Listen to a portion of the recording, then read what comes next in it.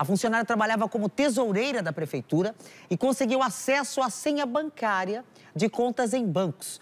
O dinheiro público era desviado para conta. Tem imagem, não, gente? Tem imagem da operação, não? Ela tirava atenção delegado, aí ela desviava o dinheiro ali para a conta pessoal dela mesmo, pronto. Eram várias transferências por mês, aí média de 200 reais, aí variava para 2.500 reais. Durante a investigação, que durou cerca de três meses, foi movimentado um total de 22.800 reais. Só que a servidora disse que tinha começado a pegar o dinheiro há cerca de dois anos. Por isso, a previsão é de que um rombo tenha acontecido de aproximadamente 200 mil reais aos cofres públicos. Ela foi afastada até o término das investigações. Agora eu tenho uma, uma palavra do delegado sobre esse caso. A servidora pública, durante dois anos, desviou cerca de 200 mil reais.